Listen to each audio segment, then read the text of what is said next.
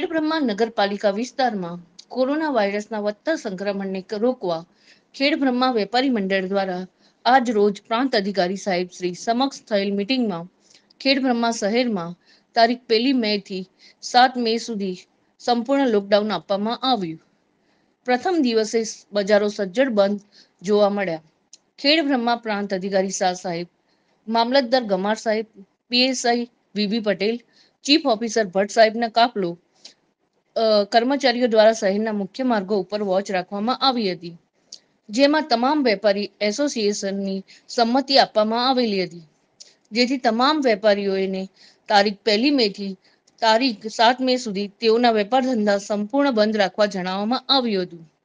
આ સમગ્ર દરમિયાન દૂધ ફ્રૂટ અને શાકભાજીની દુકાનો સવારે નવ વાગ્યા સુધી ખુલ્લી રાખી શકાશે. જ્યારે મેડિકલ સ્ટોર સમગ્ર દિવસ ખુલ્લા રાખી રહી શકશે. આ સમય દરમિયાન નગરજનોને પણ કામ સિવાય ઘરની બહાર ન નીકળવા સૂચના આપવામાં આવી હતી. જો કોઈ વેપારી કે નાગરિક આ સૂચનાનો ભંગ કરશે, તો પ્રથમ વખત રૂપિયા પાંચસો અને ત્યારબાદ રૂપિયા એક હજારનો દંડ વસૂલ કરવામાં આવશે તેવું તંત્ર દ્વારા જાણવા મળ્યું. રિપોર્ટર કુંજન દીક્ષિત, સાબરકાંઠા.